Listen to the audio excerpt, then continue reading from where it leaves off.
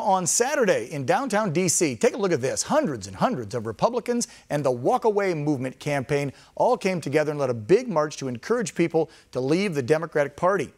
In the afternoon, they had motorcyclists from across the country. They all gathered on the Capitol to spread a message. The motorcyclists and the marchers and the walkaway folks all want to make it very clear they love America. The movement, spurred by the many lies and disinformation that have been put out about Trump supporters and our president. Walkaway founder Brandon Starkey, you see him right there, said that we want people to see that we are every slice of America. We are gay, straight, transgender, black, white, and brown, all marching together, loving one another and loving this country, loving our president. And we want people to see we are not who they say we are. You betcha. Starkey mentioned that his campaign is a movement of people who have left the Democrat Party and have joined the Republican Party. Also, someone who was there my next guest, heck of a guy, Lorenzo Lamas, actor, used to be a model, still could be. Look at this guy. I can't even get on screen with him. Look what a good looking, handsome man this is. Lorenzo, thanks for joining Real America. How are you, sir? Thank you, Dan. What an introduction! Wow, I'm I'm uh, I'm humbled. So you were there. You and I chatted uh, over the weekend. We were messaging and texting, and a lot of other conservative actors who have come out of the Hollywood closet and said, I'm a conservative. They were there. Some of you and I's mutual friends talked to us, set the scene. We got some video we can roll, but it looked like it was an amazing event, and it was all about just spreading love and unity, something that the left and the mainstream media say that we're nothing about, and they're totally wrong. Well, I agree. The whole idea is that I feel that you know President Trump is the most inclusive president in in our history. I mean, uh, he's done more for minorities, more for uh, black working Americans, Latino working Americans than anybody's ever done, and in a very, very short, historically short period of time. And to hear the kind of rhetoric that's coming from many on the left saying that he's a racist, that you know that he, he supports the KKK, it's absurd, it's hurtful, and it's absolutely false.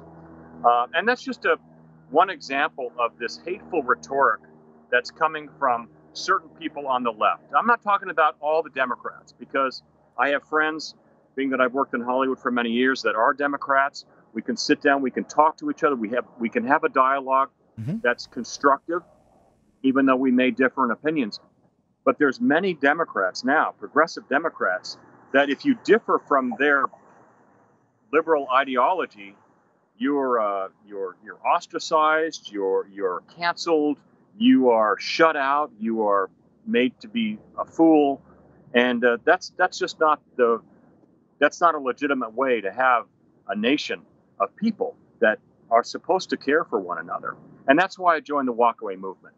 Yes, uh, most of the people that are in the movement, the Walkaway movement, of course, want to reelect President Trump because he's the most fair-minded uh, individual running for president. I mean, I mean, he's done so much, as I mentioned before, so, yes, we all want uh, a reelection for our great president.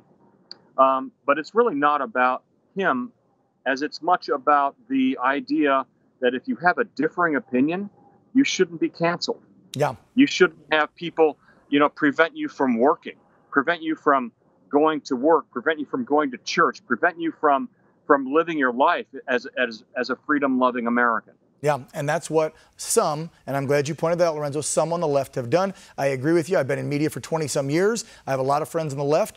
Typically, we can have civil discourse, have that discussion, and then at the end, my favorite phrase always is, let's agree to disagree. Because a lot of times we will not agree on the president, mainly, even on some of the conservative values. But I'm so thankful that there are folks out there in the gay community, in the minority community, in the Hollywood community like yourself, who are coming out and saying, look, this is not who conservatives and Republicans are. We don't trash all you Democrats and think that you're all these crazy Antifa kids in the streets burning down cities and beating on people. We know that you're good, patriotic, loving Americans. We just disagree on a few things.